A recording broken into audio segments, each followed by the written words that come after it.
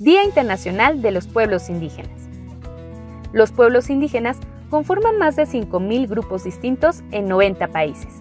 Aproximadamente 476 millones de personas pertenecen a estos grupos, es decir, más del 5% de la población mundial. Sin embargo, se encuentran entre las poblaciones más desfavorecidas y vulnerables, representando el 15% de los más pobres. Cada 9 de agosto se conmemora el Día Internacional de los Pueblos Indígenas, proclamado por la Asamblea General de las Naciones Unidas. Este día es una oportunidad para crear conciencia sobre su situación precaria, dar a conocer las necesidades de estas comunidades y celebrar sus conocimientos.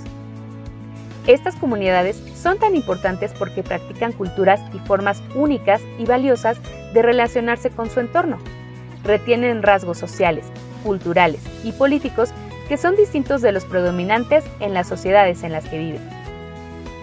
En 2022, la ONU puso como tema de este día el papel de las mujeres indígenas en la preservación y transmisión del conocimiento tradicional, ya que las mujeres juegan un papel muy importante en la transmisión de conocimiento de los pueblos indígenas y las prácticas tradicionales. Ellas cuidan los recursos naturales, defienden las tierras y reivindican los derechos de las comunidades indígenas en todo el mundo. Han logrado avances pequeños pero muy importantes en algunas comunidades y son líderes a nivel local y nacional.